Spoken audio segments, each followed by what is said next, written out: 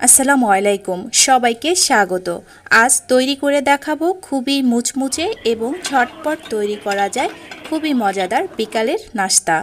শব্দ শুনেই বুঝতে পারছেন কতটা মুচমুচে হয়েছে। আজকের রেসিপি চিরা আলুর ক্রিস্পি ফিঙ্গার্স। উপকরণগুলো সবার বাসায় থাকে, তাই ঝটপটই তৈরি করে নিতে পারবেন। চিরা আলুর এই ফিঙ্গার্সগুলো তৈরি করার জন্য এখানে আমি মেজারমেন্ট কাপের এক কাপ চিরা নিয়েছি। চিরাগুলোকে খুব ভালোভাবে ব্লেন্ডারে পাউডার করে নিচ্ছি। এগুলোকে এক সাইডে রেখে অন্য একটা বাটিতে নিয়ে নিচ্ছি মেজারমেন্ট কাপের এক কাপ সেদ্ধ আলু। আমি আলু সেদ্ধ করে খুব ভালোভাবে চটকিয়ে নিয়েছি। এর ভিতরে দিয়ে দিচ্ছি দুই টেবিল চামচ ধনে পাতা কুচি। এটা আমার ফ্রোজেন করা ধনে পাতা ছিল। দিয়ে দিচ্ছি তিন চা চামচ কাঁচামরিচ কুচি, তিন চা চামচ চিলি ফ্লেক্স, শুকনা মরিচ, তাওয়ায় টেলে আমি গুঁড়া করে নিয়েছি। এর ভিতরে দিয়ে দিচ্ছি স্বাদ অনুযায়ী লবণ। দিয়ে দিচ্ছি হাফ চা চামচ অরিগেনো। এটা হাতের কাছে থাকলে দিবেন, না থাকলে বাদ দিতে পারেন। আর এই অরিগেনোটা দিলে ফিঙ্গার্সগুলো খেতে অনেক বেশি টেস্টি হয় এবং খুব সুন্দর একটা ফ্লেভার আসে। এখন সব উপকরণ ভালোভাবে মাখিয়ে নিব। তার আগে এর ভিতরে আমি যে চিরার পাউডার করে রেখেছিলাম, সেখান থেকে অল্প অল্প করে দিয়ে একটা ডো তৈরি করে নেব। সেদ্ধ আলু গ্রেটার দিয়ে গ্রেট করে নিলে আলুটা অনেক বেশি আঠালো হয়। সেটা দিয়ে ফিঙ্গার্সগুলো খুব ভালো হয়। এখন এই আলুর ভিতরে আমি পরিমাণ মতো চিরার পাউডার দিয়ে দিচ্ছি। সবগুলো চিরার পাউডার লাগবে না।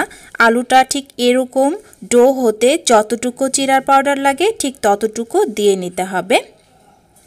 এখানে আমার এক কাপ চিরার পাউডার থেকে প্রায় তিন টেবিল চামচের মতো রয়ে গিয়েছে। এগুলোকে আমি রেখে দিচ্ছি।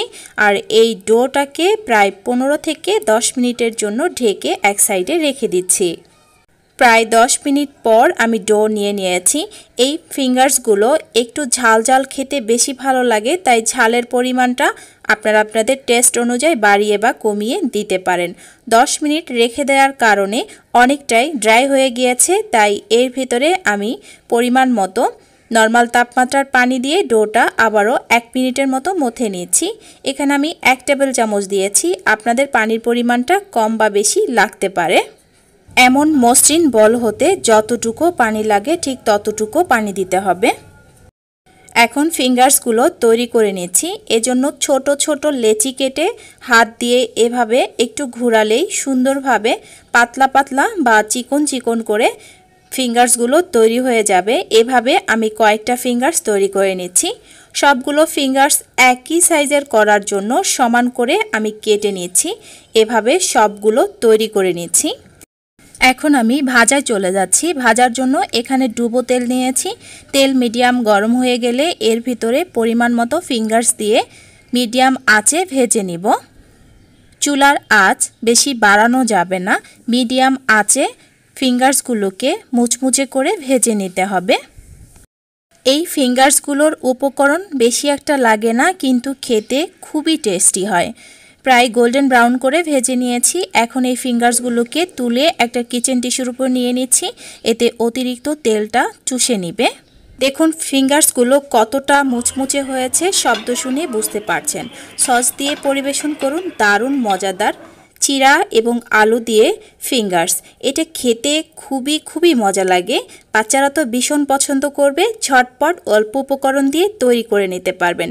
আশা করছি আমার আজকের এই রেসিপিটা আপনাদের কাছে অনেক সহজ এবং ভালো লাগবে। কেমন হয়েছে সেটা লাইক কমেন্ট করে জানিয়ে দিবেন। আজকের মতো রাখছি। আবার কোনো নতুন ভিডিও নিয়ে চলে আসব। সেই পর্যন্ত সবাই অনেক অনেক ভালো থাকবেন। আল্লাহ হাফেজ।